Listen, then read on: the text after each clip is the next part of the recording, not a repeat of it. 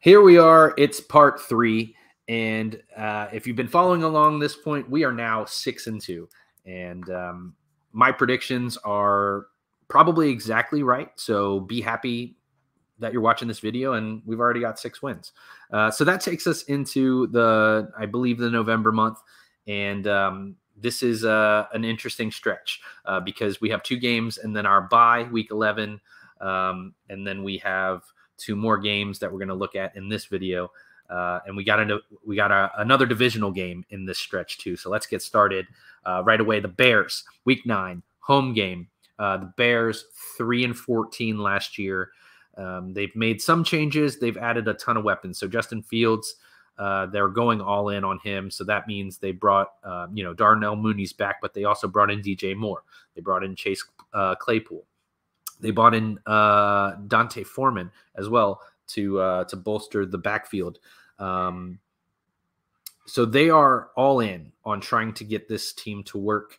Um, they were dead last in team defense last year, um, but um, you know I don't know. They're they're probably looking at their schedule going to be somewhere around three and five by this point in the season, optimistically. Um, but this game is in a dome, and um, the Saints struggle historically with more uh, mobile quarterbacks. That playoff schedule uh, add that to the fact that Fields will be on turf.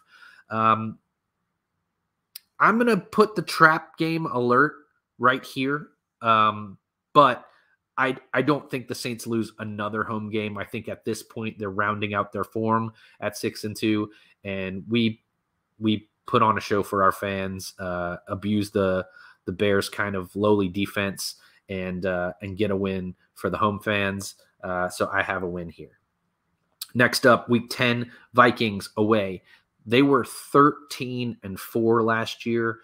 If you watched any of their games, including the one um, I think that we had with them, uh, they were every bit a phony. Um, but they were also every bit an extremely solid football team. Uh, by that I mean they were not a 13 and 4 team, but uh, but they were also very competent and good at what they wanted to do. Um, Justin Jefferson is incredible, probably the best receiver in their league. Uh, Dalvin Cook, when he is healthy, is one of the most um, versatile, effective running backs. Kirk Cousins is adequate uh, and they drafted Jordan Addison to um, to go on the other side of Jefferson. Uh, so he, you know, if he can get up to speed with their offense, that's just another weapon. Um, I think that their team is probably about the same. I don't know if their trajectory is up or down. I do think they'll have a worse record than last year, uh, but I don't know if that means they're substantially worse or better. Their style of play always seems to get us trip uh, trip us up. I don't know. This is a weird team. I don't like the matchup. I actually have us losing this game uh, on the road in Minnesota, and then that takes us into a bye week where we can relax and sit back and see how the season is progressing. Um, that puts us at seven and three. Uh, not bad. Uh, certainly uh, miles ahead of what we wanted to see last year. Week 12, Falcons away, divisional opponent. They were 7 and 10 last year. I don't know if anyone knew that. Uh, doesn't make any sense to me. Uh, it, it, shocked me when I saw it. Um, notable players: Kyle Pitts. They drafted Bijan Robinson, and um, we're still waiting for the emergence of Drake London. Is Desmond, Desmond Ridder going to be playing quarterback? Um, look, here's the deal. After a bye week, this team uh, this should always be a win. Uh, their trajectory for the Falcons, I have them getting worse, and this is a win.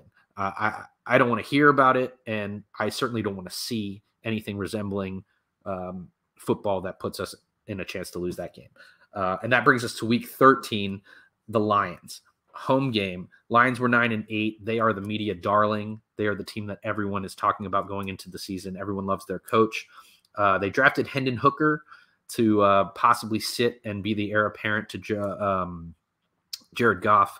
Uh, they also drafted uh, Jahmyr Gibbs, kind of a surprising early pick for a running back. They don't really go that high, but they love them. Some Alabama guys. Jameson Williams is on that roster, if you'll recall. And uh, if he's healthy, he's dangerous.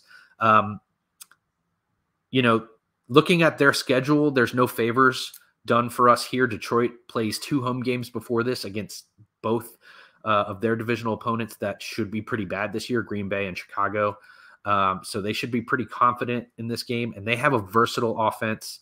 Uh, I have us losing uh, in a close game to the Lions, and yet again, uh, that's a game of the dome. So, guys, I I, I do think we are going to be a good team, but maybe stay home from the dome. I don't know, uh, but that gets us to the end of uh, November or end of Week 13, two and two, and that gets us to an eight and four record, and um, I don't know. Let's see if we can get to 10. Uh, I, I don't feel like it's out of the realm. I don't think I've picked anything too crazy. Um, but uh, stay tuned for the final part.